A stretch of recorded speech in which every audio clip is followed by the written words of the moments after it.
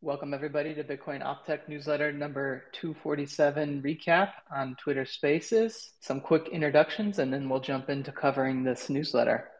I'm Mike Schmidt. I'm a contributor at Optech, and I'm also executive director at Brink, where we fund open source Bitcoin developers. And Murch wasn't able to make it today, but the good news is Dave Harding was. So, welcome, Dave. Thanks for having me, Mike. So, I'm Dave Harding. I have been the primary author of the Optech newsletter for the past five years. And I'm also currently doing an update on the book Mastering Bitcoin, doing the third edition. Awesome. And we're joined by a special guest today, Dr. Maxim Orlovsky. Do you want to provide a quick introduction for the folks who may not be familiar with your work? Yes, sure. So I'm from LNPBP Standards Association, which is non-profit working on developing layer 2 and layer 3 protocols on top of Bitcoin. And one of the main things that we did over the last four years is RGB, which became a smart contracting layer or programmability layer for Bitcoin and Lightning. Well, thanks for joining us.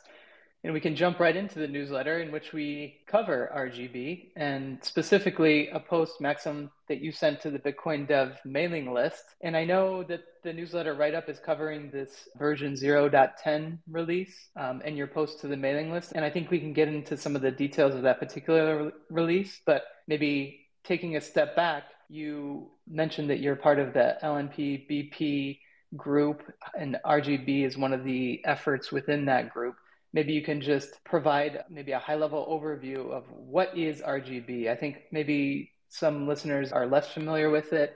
I know that it's probably pretty common that folks maybe heard of some announcement of RGB a few years ago and maybe haven't heard about it since. So, what is RGB? Yeah, sure. RGB appeared as an idea back in 2018 or maybe even earlier than that as a result of cooperation between Giacomo Zucco and Peter Todd, who are well known in the Bitcoin sphere. Peter Todd uh, proposed a new concept called client side validation, the whole idea of which was that we need to move and we can move a lot of things out of blockchain. And by moving a lot of things out of blockchain, we can actually increase the scalability and privacy at the same time. Giacomo took that idea and he coined the term of RGB as a colored coins over Lightning, which were made possible by this client side validation idea. Literally meaning that let's take the idea of issuing assets on Bitcoin and Lightning Network and put it into client side validation paradigm. And that's how RGB was born.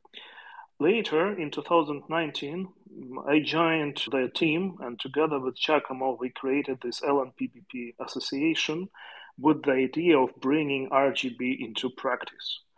And the end result was that uh, already in 2020, the RGB started transforming into uh, not just colored coin or assets, because nobody was happening about uh, just doing a layer for new shitcoins on Bitcoin, but into a programmability layer for Bitcoin and Lightning Network, which may allow advanced forms of smart contracts and advanced forms of programmability, as well as increased privacy for Bitcoin operations. And we've been developing this through years, and we had a number of iterations.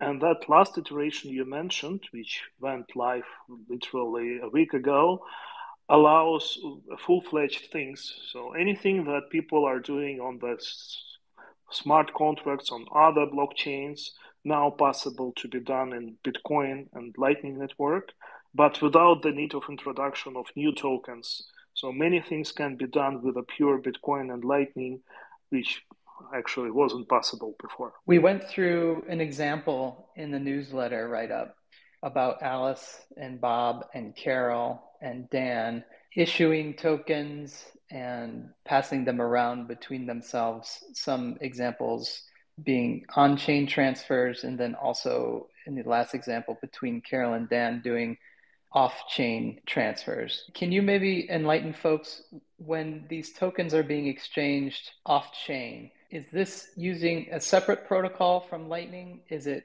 a modified Lightning implementation, or can can you explain a little bit how that works for me? Yeah, mm, I'll try. There is a number of things which are separate from each other we need to go through in order to answer this question. The first thing that all the tokens, and not only tokens, but any form of the smart contract state, because many of the smart contracts they do not operate with the tokens, they have different forms of the state. All this exists on the client side, meaning that it is kept by the client the same way as clients keep private keys or wallet descriptors. Meaning that if they lose their data, they will lose their assets and they will lose their smart contracts. So this is what client-side validation is about. Users keep this data and they share this data outside of blockchain. But by which means users share the data? Well, RGB doesn't cares about that as a protocol. It is abstracted from the question of the way how the data are sent from one user to another user. And it is able to work with the different ways of sending the data. As of today, we already have at least two of them. One is using some form of relay servers called RGB RPC. And the other one is based on Lightning Network, which allows to share the data through the Lightning Network. We have created a dedicated protocol called Storm, which provides a data layer for Lightning and it operates on top of the Lightning Network. And you can do that to send this data in a more decentralized fashion. Also, we think that it would be possible to share client-side validated data through Nostr or other systems. And at the end of the day, they can be sent between users as just the plain files inserted into emails or chat messages. I hope that answers your question. Yeah, I think so. And I'll follow up with something that you mentioned in your explanation, which is these different types of smart contracts that don't involve tokens. So I think our, our write up involved tokens, but also noted that there's other use cases. I think folks are familiar maybe with colored coins and the fact that you can issue these tokens. What are some examples of use cases that you're excited about that don't involve additional tokens? I tried to cover uh, the most exciting use cases for RGB in the very last answer in Bitcoin Dev mail list. I will briefly go through that. The most exciting tokenless applications are the following. First one is the digital identity. In the world of uh, Web of Trust, one of the main problems which wasn't fully solved was the procedure of key revocation.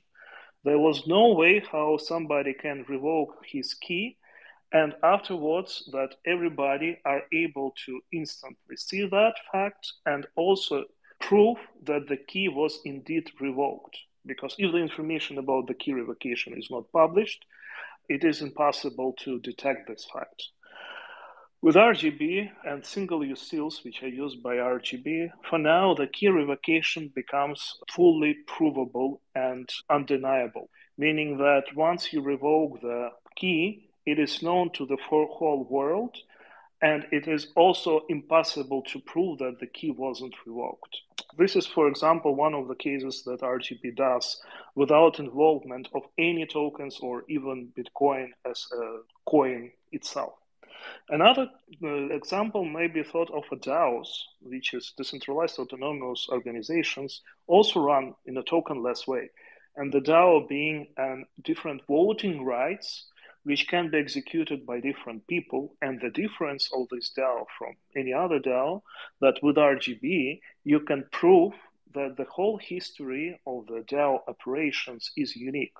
You can't do that with the open timestamp type systems because when you do open timestamps, you can create alternative commitments. So while you can prove that something, some fact had a place in the past, you can't prove that an alternative fact haven't had a place in the past because you can create alternative commitments. With RGB, you can have a whole history of events which can be proven to be unique without any other alternative history. It reuses the same mechanism it uses to prevent double spending. And the same mechanism is leveraged to create non doubled histories of events. And that allows a new type of DAOs which were not possible on Bitcoin ecosystem before.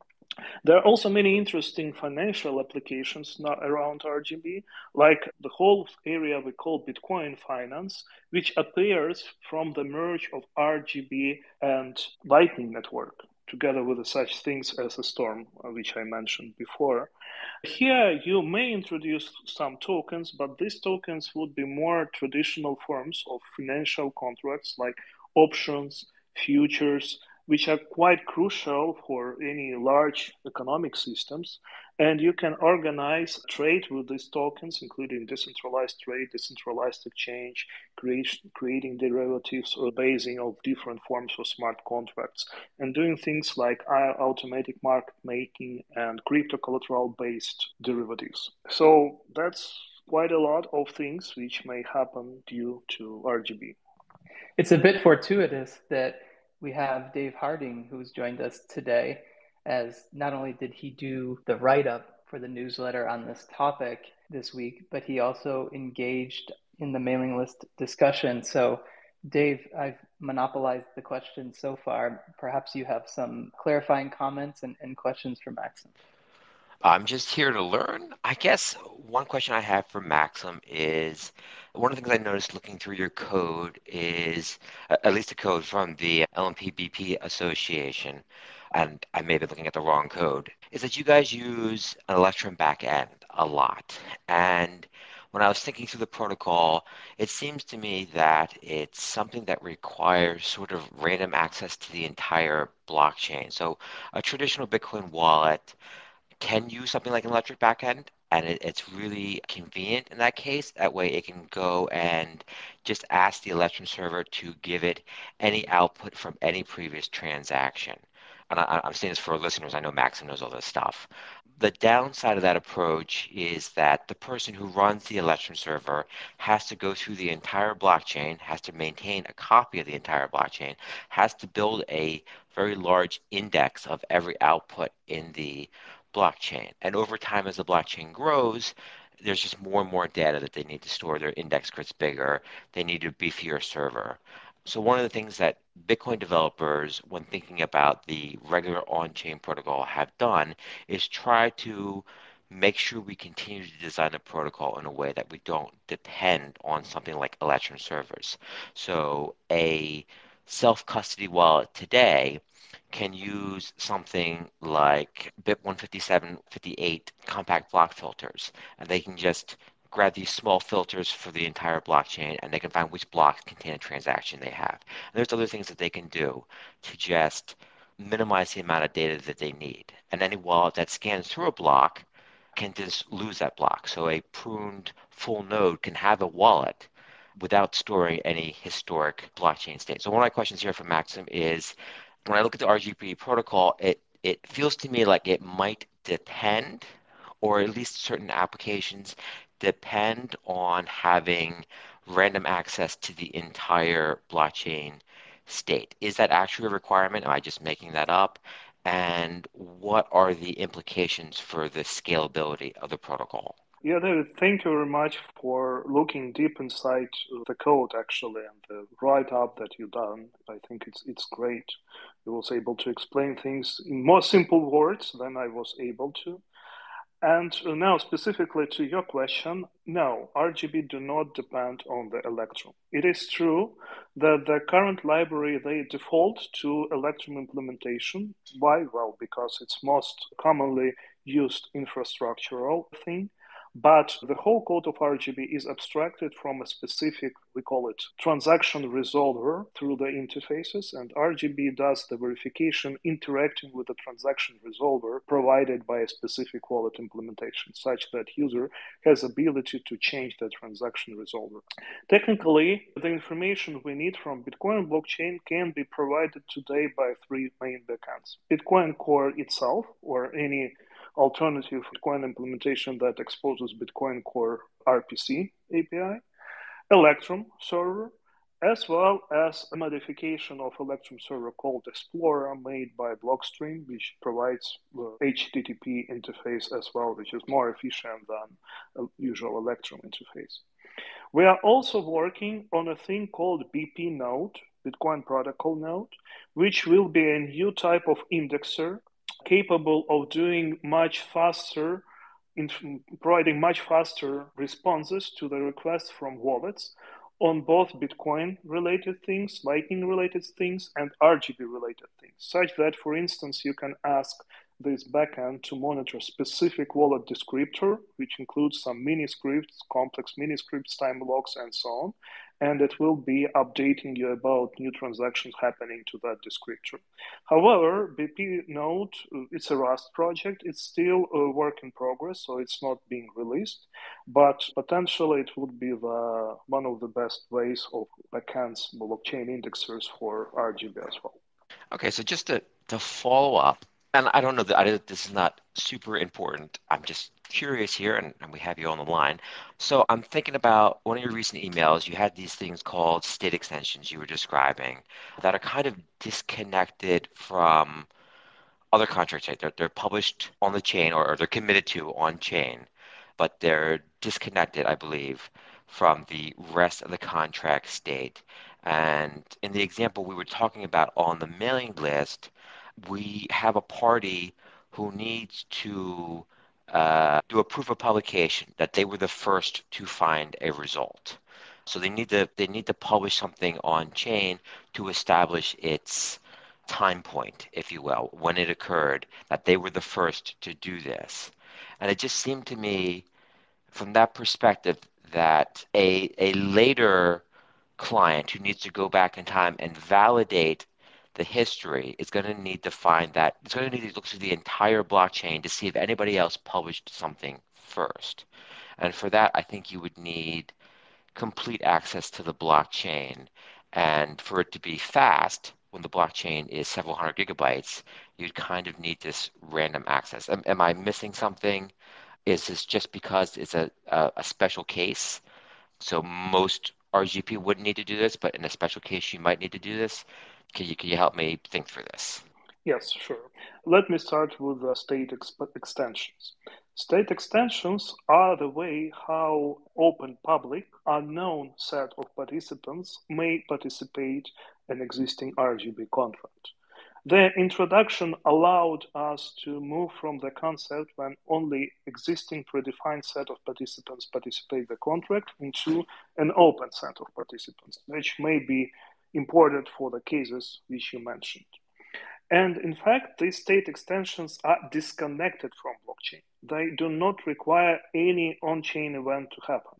However, every, anything produced with the state extensions are not finalized, are not final, until one of the contract participants have included this state extension produced by somebody else into the history of the contract and by doing this inclusion, basically linking it to blockchain state.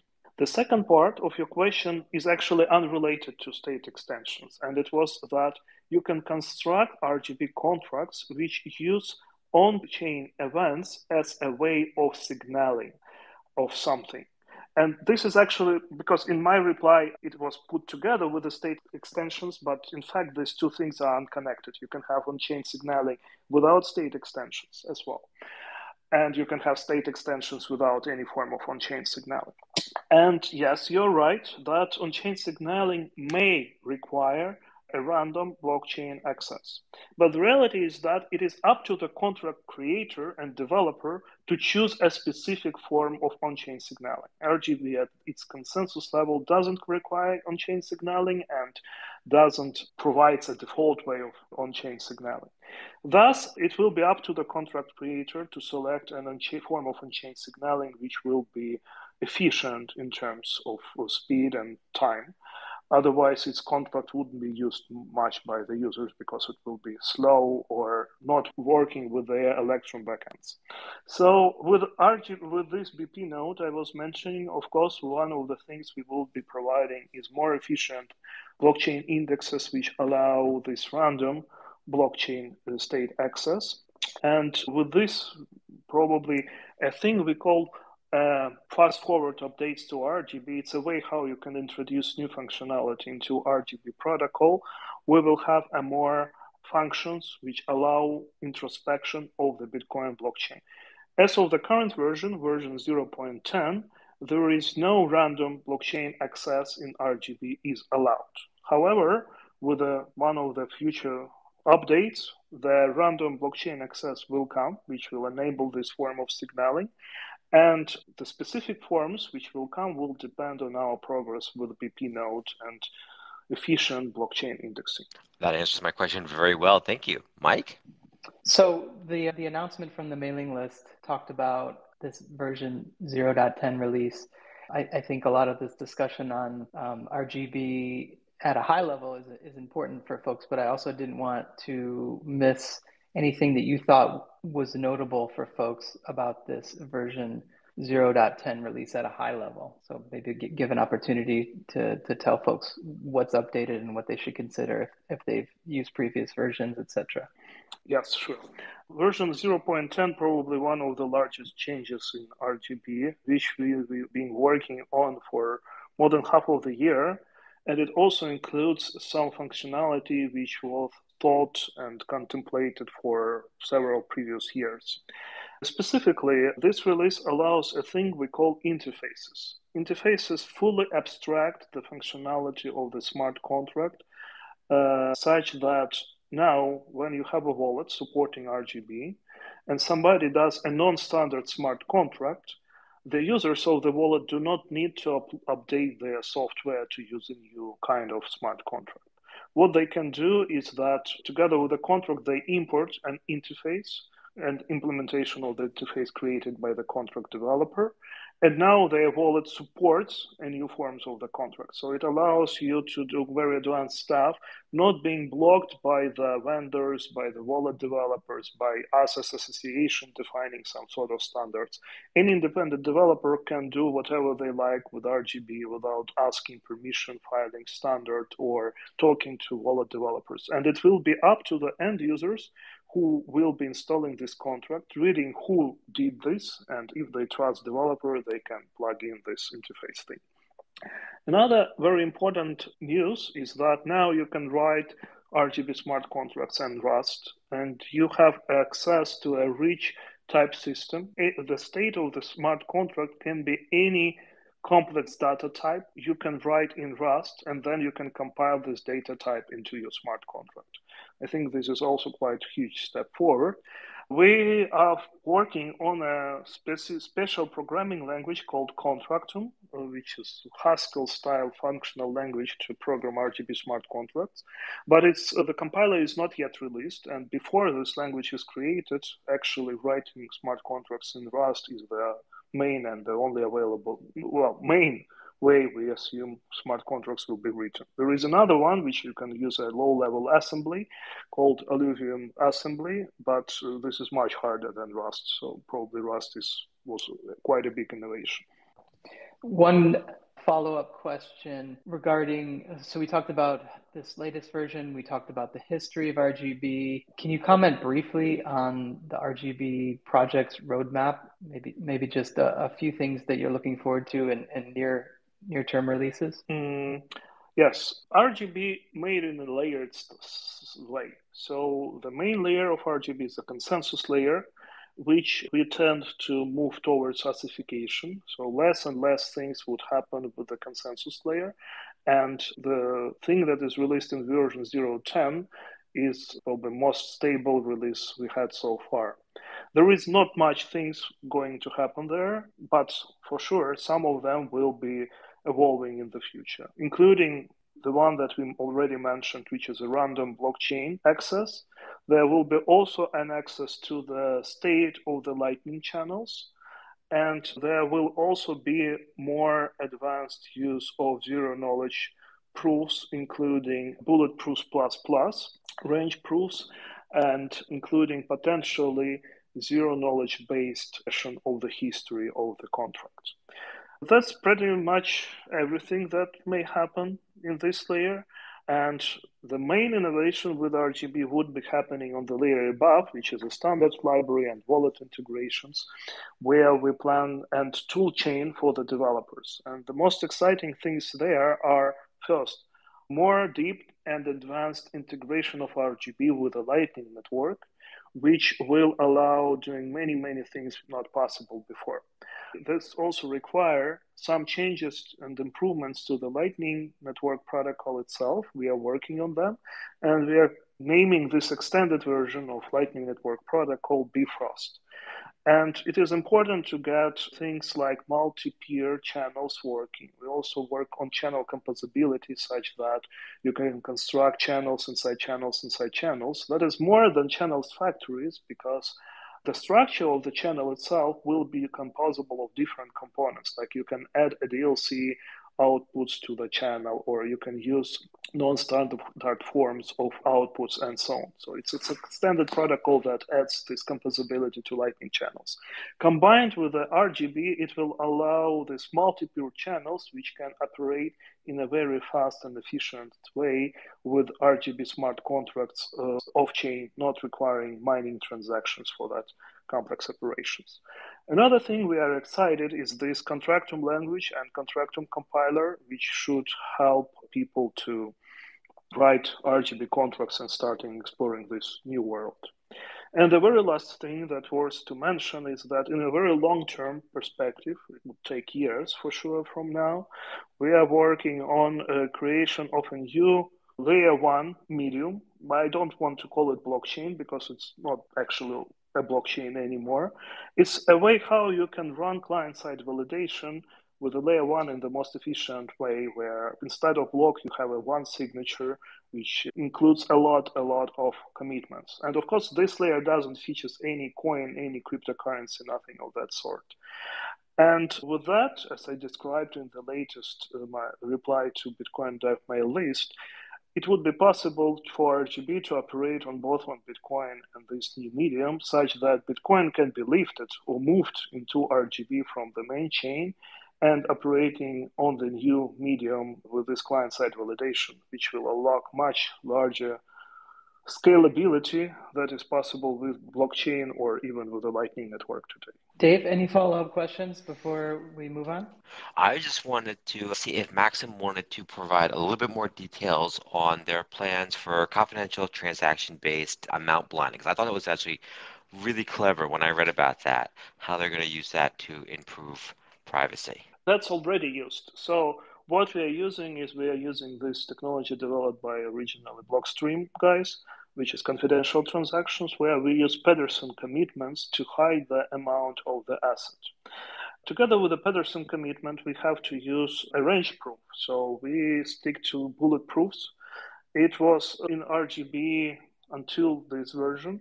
In this version, for now, we temporarily not creating bullet proofs and we still use Pedersen commitments, but the data are kept in the explicit amounts such that when a new bulletproof version, which is bulletproof plus plus, will arrive, we will be able to pack the history and blind all past data with this new Bulletproof Plus Plus. So that would be one of the next updates of RGB. We are waiting for Bulletproof Plus Plus to be finished because they are not finished in their implementation. It's just a paper which is being implemented by Blockstream as of today. And when that implementation would be completed, we will be able to migrate all existing smart contracts on the use of Bulletproofs and the confidential transactions will become the default way of passing amounts around and also they will be applied to all historical data as well. Yeah, so I thought that was really cool when you have one party giving a future party the past state. They don't have to tell the future party anything about the specific amounts transferred in the previous states. So if Mike gave me some tokens or some lifted BTC and I gave it to Maxim, Maxim would have no idea how much Mike and I transferred. He would still Maxim would still be able to do a full validation of the client side validation of the previous state transfers to make sure everything was correct, but he wouldn't learn any of the amounts. I thought, just thought that was really, really awesome. I have one last question and a, a kind of a general question for Maxim, which was when you're working on an RGB contract, how much do you need to be aware of uh, how the protocol works at the base layer? So the Bitcoin protocol. I'm thinking kind of in comparison to, say, an Ethereum developer writing their contract in Solidity and not really thinking through everything. And so their contract is exploitable by like miner extractable value or, you know, uh, these other things that happen in Ethereum because you think the entire contract is the code that you're writing in Solidity or whatever.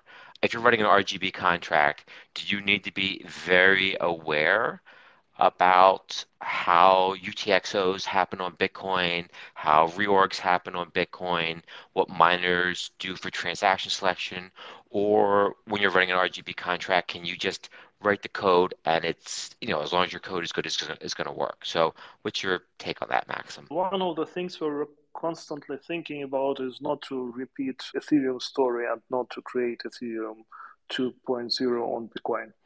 Well, the time will show have we succeed in that or not. Of course, I think it's impossible to do a system which is absolutely safe, such that uh, somebody dumb or with a bad intentions wouldn't be able to do something wrong with that. So I think nobody is protected from this. However, what we try to do is that, as you asked, when you develop RGB contract, you don't have to think about reorgs and low-level things in Bitcoin blockchain itself. They are fully abstracted and the system operates in the same way for all the smart contracts. So all the validation of on-chain data is performed exactly the same and you don't program that part. Another thing that we did to improve the reliability and, and make the coding more simple is that we have these languages that we are developing, they are functional style, meaning that they are more declarative rather than imperative. And when you use a declarative model of programming, it's much harder to do something wrong. The last part, which is very important, is that we very clearly define the concept of ownership a state or the data. One of the main pitfalls of Ethereum is the use of account-based model, such that when you write a smart contract, you must always make sure that you check who is the owner and who is the right to perform and execute that or that operation and how this operation should happen. And people are frequently forgetting about making these checks or they are making them in an, in an improper way. With RGB, you are not worried about that. You don't do that because everything is linked to the UTXO.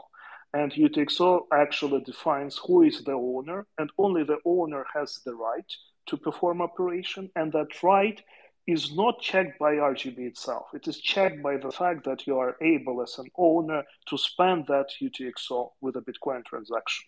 So in this way, we're just literally leveraging the existing Bitcoin as a state ownership system, not reinventing the wheel and not doing anything of the sort that Ethereum had to do with this account-based model.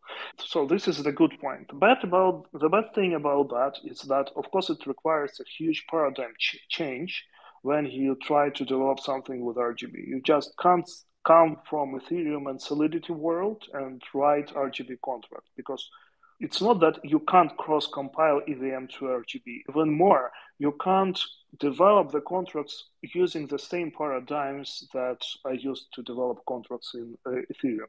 So that's one of the reasons why people frequently say that something is not possible with RGB and uh, trying to apply the same logic of Ethereum to RGB and Bitcoin. Of course, it wouldn't be possible because with that logic, it is not possible by definition. But however, it is possible if you change the way how you see the state management, the smart contracting, and when you move to a new programming paradigm, many things become much simpler. They don't require a lot of effort, like in Ethereum. In many cases, when in Ethereum you need to create a token, here you don't need to do that. And where in Ethereum you need to contr- control the access rights, here you don't need to do that, and so on and so forth. So that's probably the recap of programming on RGB. Thank you. As we wrap up here, Maxim, if folks are interested more about RGB and potentially contributing and maybe even potentially donating to the project's efforts, where would you direct folks? Uh, well, I think the main place to read about the technology is RGB Tech website, which we will be keeping updated. Of course, the best place to contribute and to go deeply is GitHub, RGBWG work group organization.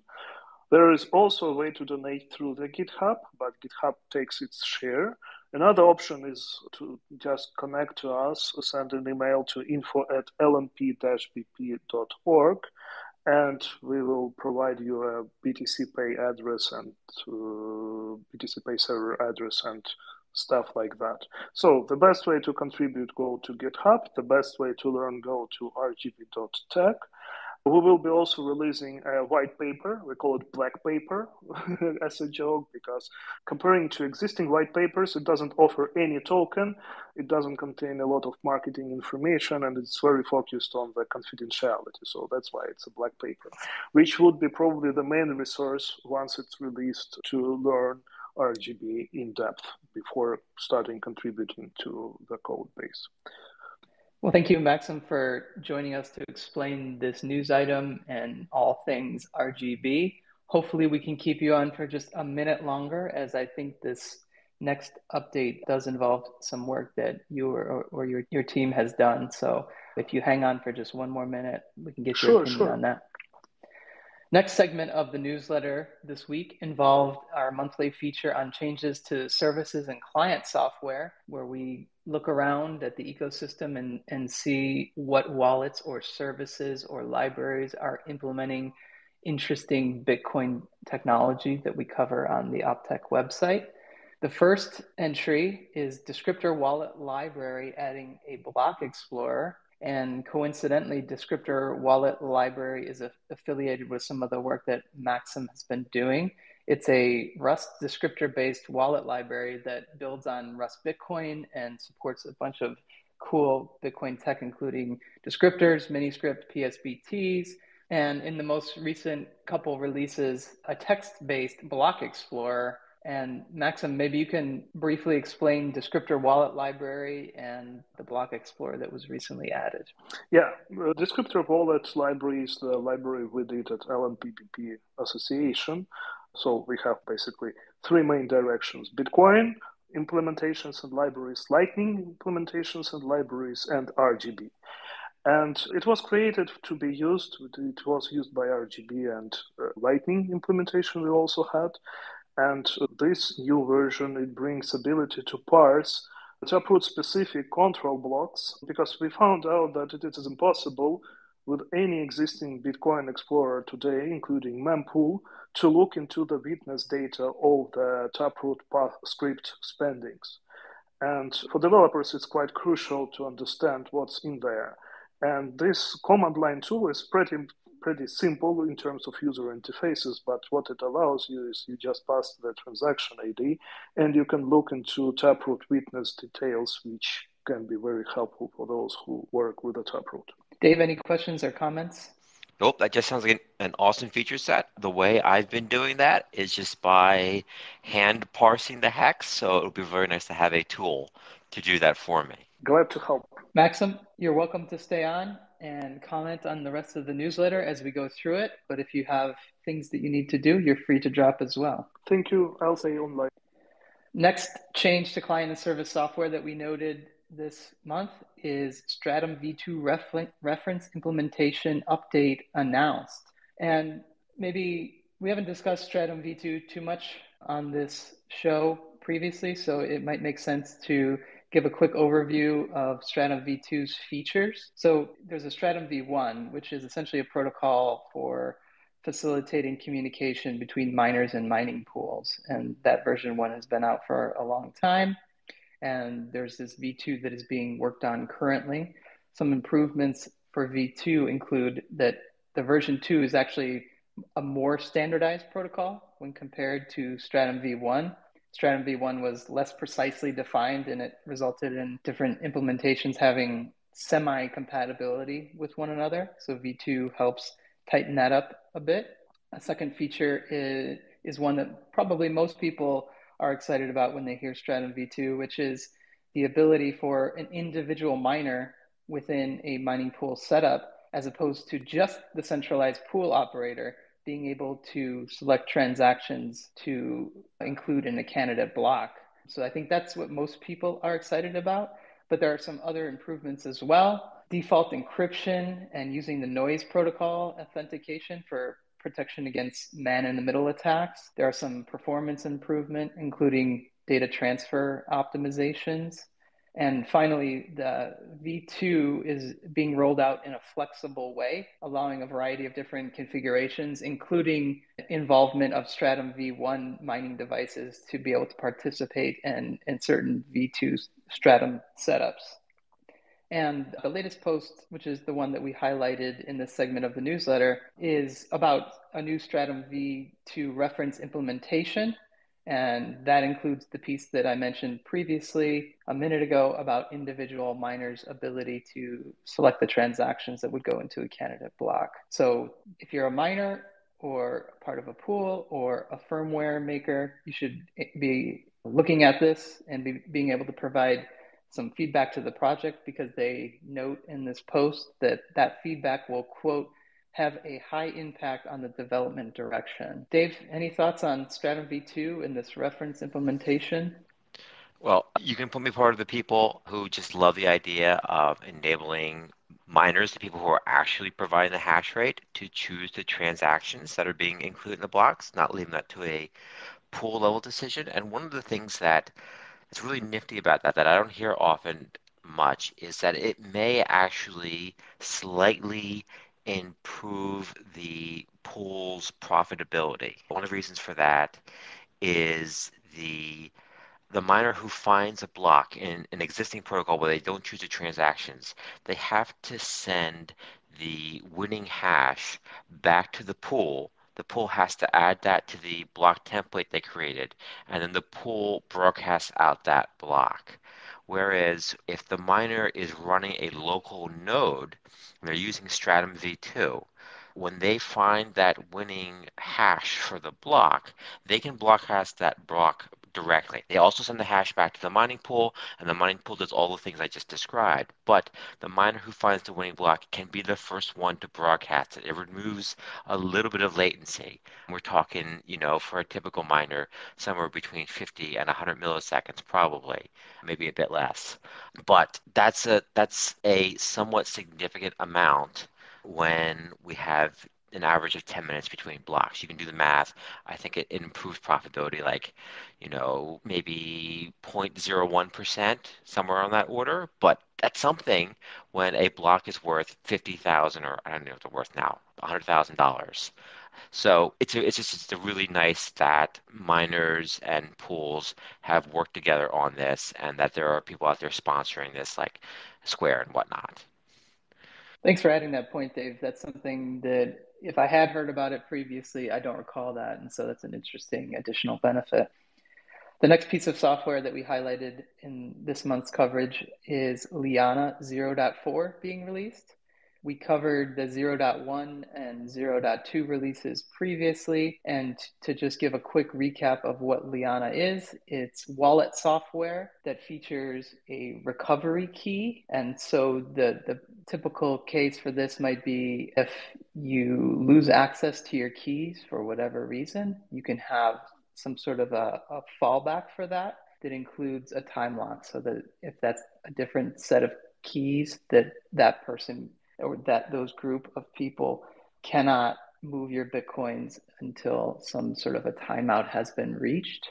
And they've been iterating on this approach for the last few releases. And this 0.4 release allows the possibility to configure additional time locked recovery paths. And so, an example from the blog post that we linked to would be let my funds only be spendable by myself for one year. And if they don't move for a year, let them be spendable by my spouse and children, along with an attorney. And then after a year and three months without the funds moving, let them be spendable by my family alone. And they, the Liana team notes in the write up that that would obviate any potential attorney that is non compliant or inaccessible or malicious by having a second fallback to just have the family be able to move the coins after an additional time lock. So that's interesting. Dave, did you get a chance to look at the Liana release? I did not. I just quickly skimmed the notes while you were talking. One of the things that I would I would quickly mention here, which is not Liana specific, but as the ecosystem rolls out support for descriptors and Miniscript, it's going to be a lot easier to make these policies portable from one wallet to the next. So you'll be able to have a tool like Liana that helps you choose these policies, helps you build these policies, you know, with a nice user interface and whatnot. And then you're going to be able to copy that into a different wallet. And, and those wallets might share a path or they might not share an HD path. You know, they might be completely separate, but you'll I, I think that we're looking at a future where we're going to have more access to these sort of, you know, simple policies for defining how to use your coins, and it's going to make everything so much more robust. You know, in when it comes to the security of your bitcoins and safety of your bitcoins across, you know, life events. The next notable software release was Zeus adding fee bumping features, and this is in Zeus 0.7.4, adding fee bumping using both RBF and CPFP, and that includes for regular on-chain transactions, but also including Lightning Channel opening and Lightning Channel closing transactions. And they this update includes a lot of the plumbing for a bunch of different backends, but the first implementation here being LND. And I messaged Evan Kaloudis who works on the Zeus project to make sure I understood accurately what was going on. And he confirmed that typically this fee bumping uses RBF, but it can also use CPFP in certain situations. So there's some logic and flexibility in these fee bumping scenarios.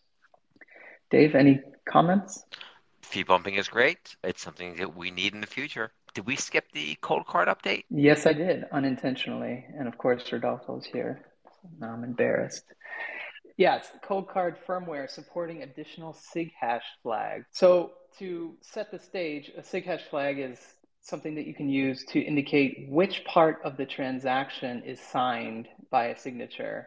And most typically, SIG hash all is the SIG hash flag that's used, which is sign all inputs and outputs. But Dave, maybe I can throw a question to you. What, what's an example usage of a SIG hash flag that isn't SIG hash all?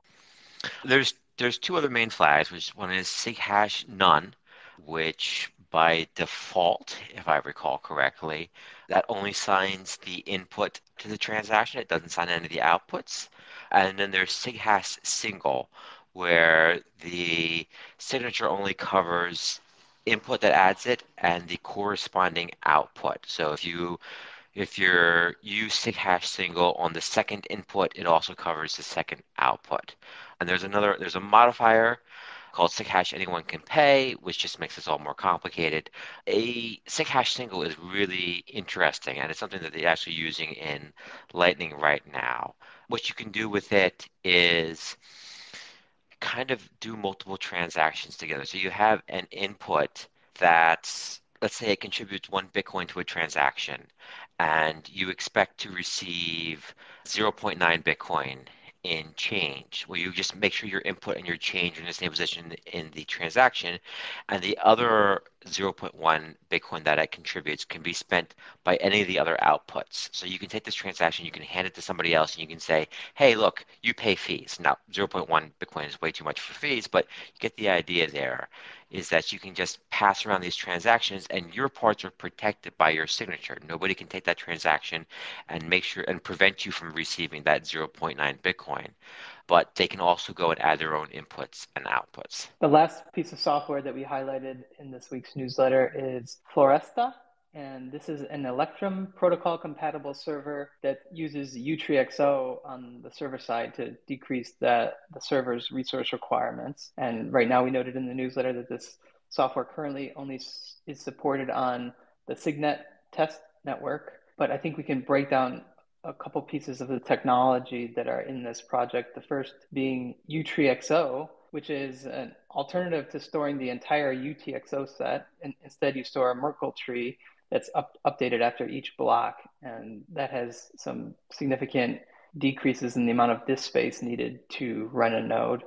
And so this project has married Utreexo with the Electrum protocol that we discussed a bit earlier, which is a client server protocol that allows lightweight wallets to connect to a server that can provide information that supports that Light Wallet's operation. And something notable from the blog post that introduces this project is it sounds like they initially set out to create a node that also included a wallet, but realized that there's a bunch of work and overhead with creating and maintaining a wallet, and instead decide, decided to create a Utreexo based Electrum server and then let folks use whatever wallet they wanted that could speak the Electrum protocol.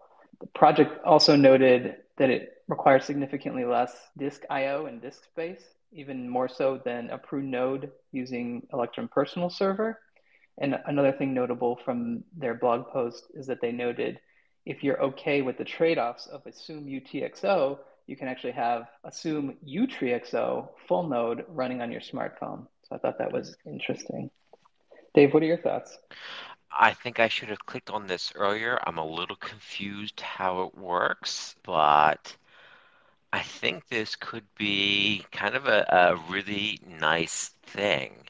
So uh, it looks like it's kind of a replacement for or, or, an alternative to Electrum Personal Server. That's a that's a little client that you run beside your Bitcoin full node that finds just your transactions using Bitcoin Core and serves them to you over the Electrum protocol. So if you want to run a full Electrum server, as we were talking with Maxim earlier, or, or something like Electrs or whatever, you have to build this really beefy index.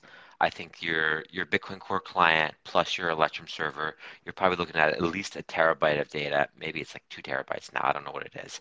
But with Electrum Personal Server, you just store the transact you just store the data related to your transactions. So it's it's basically the size of your wallet on your full node. So it's it's very efficient. The one of the problems with Electrum Personal Server is if you decide to in your client wallet load a new wallet that has history going back before the current block, you kind of have to go through the entire blockchain again and scan things. And that's especially painful for a pruned node.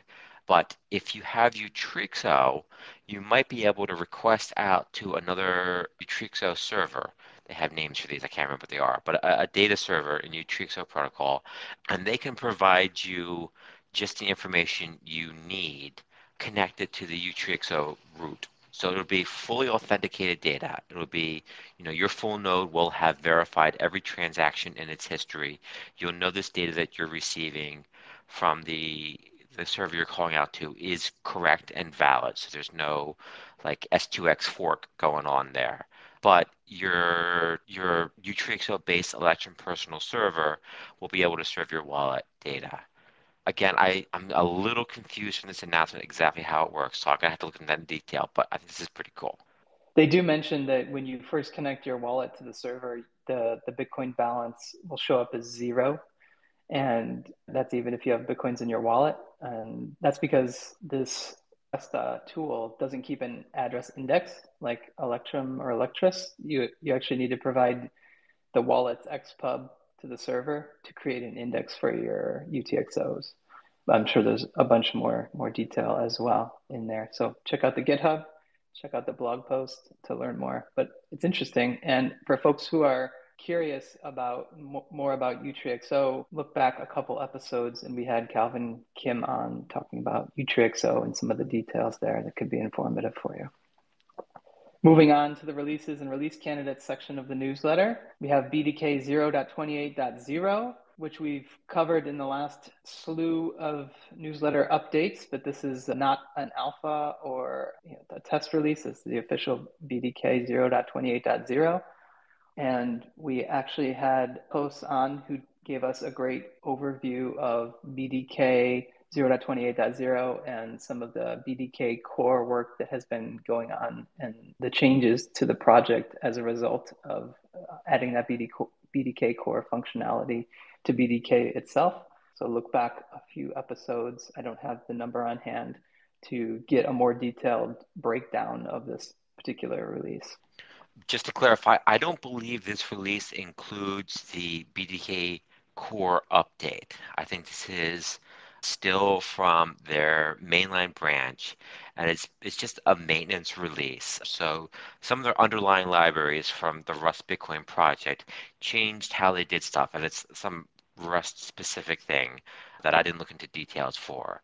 And so BDK had to kind of release or to put in some bug fixes and to update their version of those previous those underlying libraries. They had to do the same thing that those underlying libraries did, something related to a standard function in Rust. So this is just a maintenance release. BDK project, I believe, is still working on the release for the BDK core, you know, changing how they do their modules and stuff. So just want to clarify there. Thanks, Dave. I was wondering why that wasn't in the release notes when I clicked in. So thank you for clarifying. I know that is an effort that, that is underway. And so if you are curious about that effort, check out that previous chat with Alekos. The next two releases that we noted are both Core Lightning releases. The Core Lightning 23.02.2, which is a maintenance release that contains a bunch of bug fixes. And if I recall correctly, the, the numbering on these releases has to do with the, the month and year that it was re- released. So this is a maintenance release that is based on that February 2023 release, um, and it's a bug fix release. Dave, did you want to jump into any of the details of that release? Nah, I think it's just little stuff. If if you use Core Lightning, especially if you use it as a developer in other applications, just check the release notes. They're like five lines, so you'll be good. Core Lightning 23.05 release candidate one. So back to that numbering scheme, this would be appeared to be the, the target for the May release of 2023. And it's release candidate for Core Lightning. I digging in, I did not find the anything notable. Eh, eh, I didn't find the release notes immediately, so I don't have anything to comment on it. Dave, I don't know if you you drilled into that at all. Not really. So just for for listeners, our usual policy for announcing pre-releases, you know, release candidates, is not to go into too much detail for stuff unless it's something that really the developers want tested, that they, they have a specific desire to have something tested. That way, we don't kind of steal their thunder from their main release announcement. You know, so they they want to say, look, we just added this awesome feature but Optech told you about it a month ago, you know, so we don't want to do that. So we don't usually go into too much details. Anybody who does want to read the changelog, especially if you're going to go out there and you're going to test it, it's in the main directory of the Core Lightning project. So you just go to the, the page that has the README and scroll down the list of files, and there's a changelog.md there. We have three notable code and documentation changes that we pulled out for this week's newsletter. The first one is Bitcoin Core 27358, which is an update to the verified Python script. If folks have downloaded Bitcoin Core previously, you know that it's a best practice to verify the, the files of a particular release. And there's been some changes recently in where certain signatures are from prominent Bitcoin developers and other folks and there's some improvements to the script to automate the process of checking that. Dave, you did the write up. Do you want to get into some of the the nitty gritty of, of how this improves verification for folks who are downloading the software? Absolutely. I think this is a this is a very, very useful change. So in the past, when the Bitcoin Core project released a new version, they put the software up on their website and they had the lead maintainer, Vladimir van der Laan, sign it with his GPG key. So he would sign a file that had a hash of all the specific files. So you could download his signature, you could download that file that he signed, and you could verify that file, that file was signed by him, and then you could check the checksums on the the specific file you downloaded for Linux or for Windows or for Mac or whatever. And this is how a lot of free software projects, you know, give you a verifiable artifact from their project. So you know that, that it's actually legit software. Bitcoin Core goes a step further. They they also do reproducible builds, so multiple people can all build from the same source code and get exactly the same files. They're going to have the same hashes, so they're all going to be able to communicate with each other and verify that the build is good and that they're all getting the same thing and that they you know they can test the software if they want to. And but you know bitcoin we don't really want to put trust in one person. You know we love vladimir. He left as lead maintainer. And, you know, we have this opportunity now not to put our trust in this one person. So now multiple people who are doing the reproducible bills, they're all signing those reproducible bills. Those signatures are out there. And you can go through and choose the people who you personally trust or exclude the people who you don't trust and check their signatures on each release. But this is this is a pretty laborious process. You've got to download each signature. You've got to run a GPG command. You've got to download the, the files.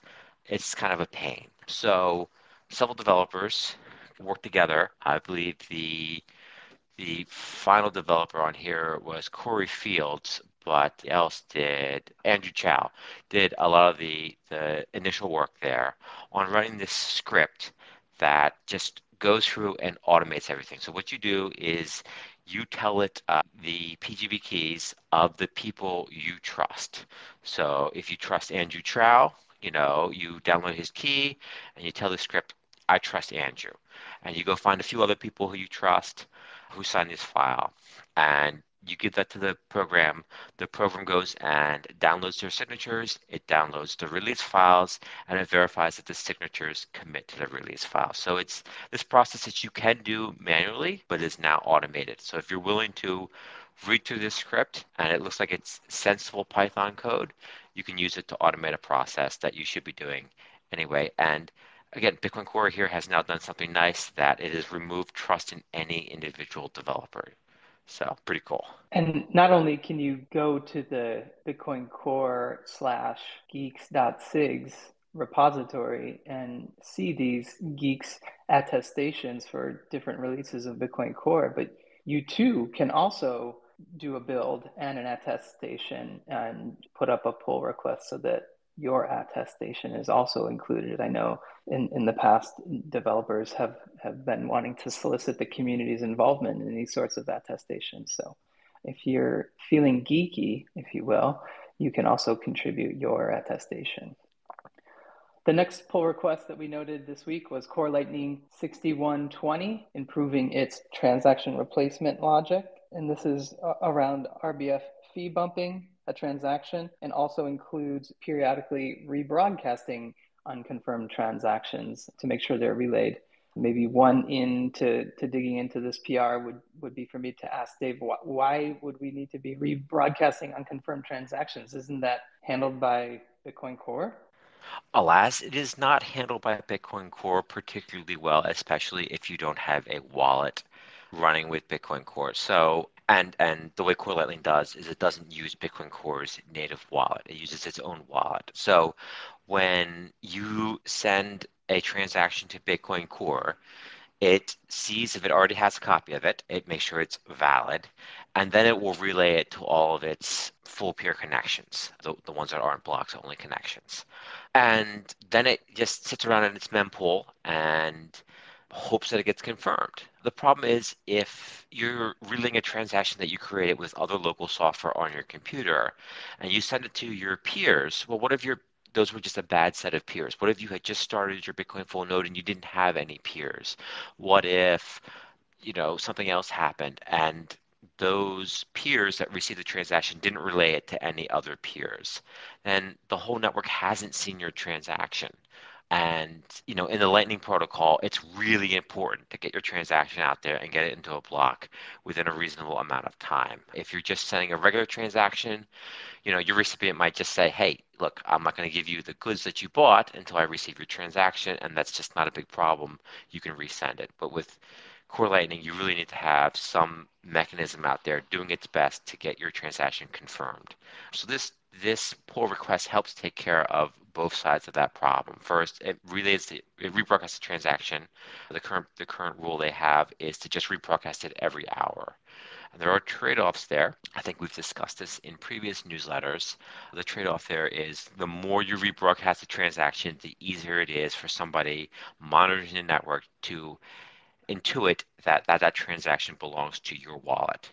And the real solution for this is for us to build broadcasting, rebroadcasting into Bitcoin Core directly so that all nodes occasionally rebroadcast transactions. So you can't tell that somebody rebroadcasting a transaction is behaving any different than other nodes.